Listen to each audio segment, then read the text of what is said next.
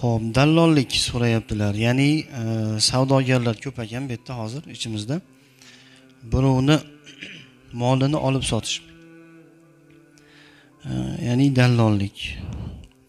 Dallollik azizlar e, o'zi asli dallollik harom kasb emas. Dallollik harom kasb emas. Mana misol uchun man deylik mol bozoriga kiryapman hayvon bozoriga kiryapman. Mani endi oyda yilda bir bir kelaman u nimaga?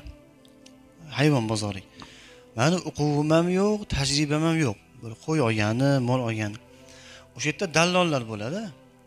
Bitta dallol qo'shningiz dallol. Aka ha yaxshimisiz man bitta falon summaga o'n millionlik bitta sigir olishim kerak. Yaxshi bo'lsin. Tepmaydigan suti yaxshi tuqqan va hokazo va hokazo. Bitta manga o'n millionga mol olib bering aka xizmatingizni beraman. Nechi pul xizmati dallollarda? Mol bozorida? Ikki yuz ming ikki yuz ming uch yuz ming bo'lsa kerak taxminan. Ikki yuz ming xizmatingizni beraman. Yoki buni teskarisi mol sotgani deyapman teskarisini tasavvur qiling mol sotgani deyapman aka man dehqon bo'lsam mol bozoriga man bir betda nimasini bilmayman. Mana shu molimni shu ahvoli shu mana bo'lishi shu. Unaqa aybi bor unaqa nimasi yo'q. Falon sut beradi mana bolasi. Shuni mo'ljalim o'n millionga sotishim kerak? Shuni sotib bering debdi. Dallolni yollayapsiz. Endi u sizni nomingizdan yo sizga sigir olib beradi yoki ikkinchi suratda sizni nomingizdan sigir sigirni sotadi. Buni hech qanaqangi shariatga zid keladigan joyi yo'q. Faqat ulamolar u dallollikni e, ba'zi masalalarda dallolligini aytishib dallol u dallol bu topgan moli harom dallolni topgan molida shubha bor e, falon falon falon degan masalalar bir tarqagan. Ba'zi odamlar ham dallollikni harom deb o'ylaydi.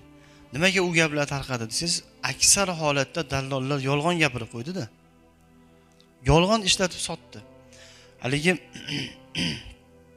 qo'shnisini sigirini sotib beraman deb ko'ziga ikki yuz ming uch yuz ming e, ko'rinib o'zi besh litr sut bersa ham o'n litr deb sotyapti beradigan sutini. O'zi kasali bo'lsa ham soppa sog' deb sotyapti. Yoki moshina bozorida ham bordir bu ish. Dallollik kasbi judayam rivojlanib ketgan. Faqat mol bozorida yoki faqat moshina bozorida emas kerak bo'lsa birjada ham bor dallollik. Kerak bo'lsa u boshqa sohada ham bor. Faqat dallollar ehtiyot bo'lsin yolg'on aralashtirmasin. Chunki dallollik kasbi sotsa pul oladida. O'shaning uchun sotaman deb yolg'on ishlatib yuboradi aksar holatda. Yo'q sifatlarni ham aytib yuborib e, narxni ikki xil aytib u egasiga egasidan boshqa narx arzonroq olib mana sotib olayotganga qimmatroq aytib o'rtada ham yeyman deb shunaqa o'rtada harom yeb yolg'on ishlatib xiyonat shu ishlarni qilganligi uchun dallollar yomon ko'rilib qoldi. Xolos oxirgi davr.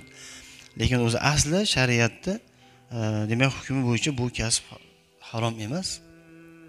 Halol ishlasa ham mayli qandini ursin dallollar? Nechi pul topsa topsin faqat yolg'on ishlatmasdan. Tushunarli bo'ldi. Endi birovni molini olib turib e, sotishlik. Mana misol hop qora akami moli bor. Deylik bu kishini molini man oldim lekin hali pul sanaganim yo'q bu kishiga. Agar shu suratda qora aka mana shu moshinam endi molmi kiyimmi nima bo'lsa ham manga bergan tovaringiz manga o'tdi bo'ldi mandan talab qilasiz deb man bu kishini qo'llaridan olgandan keyin man foyda qo'yib ustiga foyda qo'yib sotsam joiz bu. Chunki man bu kishiga javob qilamanda pulini. Ana shu narsa mani mulkimga o'tib bo'ldi. Mani mulkimga o'tib bo'lgandan keyin uni ustiga o'zi narxiga sotamanmi zarariga sotamanmi foydasiga sotamanmi mumkin joiz. Mumkin joiz. Qachon joiz? Qachonki mani milkimga mani javobgarligimni mani bo'ynimga o'tsa ana shu mol. Bu kishiga pul kerakmi? Mandan talab qila bilsin. O'shanda man bemalol ustiga pul qo'yib sotaveraman. Lekin ba'zi suratlar bor. Mana shu dallolchilikni ba'zi suratlari bor.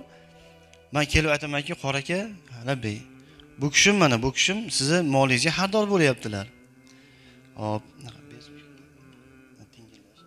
bu kishim sizni molingizga xaridor bo'lyaptilar. Bir millionga bering shu kishiga bering deyapman. Yaxshi ishonchli bo'ladimi manda ha beradi pulini. Beradi mana qarang man beraman demayapman. Tushunyapsizmi mana? Man tilim naqam yo'qda bu yerda. Bu yerda hali suvdan quruqman hali. Bu yerda nimaga o'tirganim yo'q o'rtaga haligi kursga o'tirganim yo'q.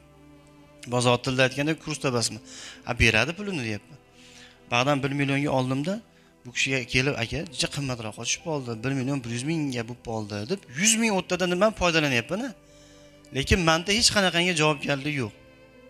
Bu kishi pulni faqat bu kishidan talab qiladi. Man o'rtada shunchaki bir vosita bunaqa holatlarda o'rtada foyda yemaydi o'rtadagi odam. Payg'ambarimiz alayhissalotu vassalom aytganlarki al xoroju bizzomon mana. Judayam qisqa bo'lsa ham judayam tadbirkorlarga tijoratchilarga kerak. Judayam kerak bo'lgan hadis. Al xoroju bizzomon degani foyda qo'yinglar foyda ko'ringlar. Qachonki mana bu bo'yningiz bilan bir javobgarlikka tursangiz deganlar qarang. O'sha javobgarlikni evaziga foyda olinglar deganlar.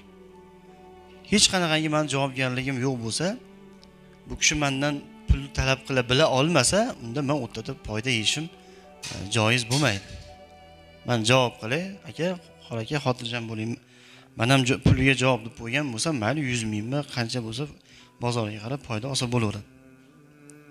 Shu dallollik e, o'ziga yarasha shartlari bor. Mana shu shartlarga vafo qiladigan bo'lsa yolg'on gapirmasa xiyonat qilmasa qilaversin joiz.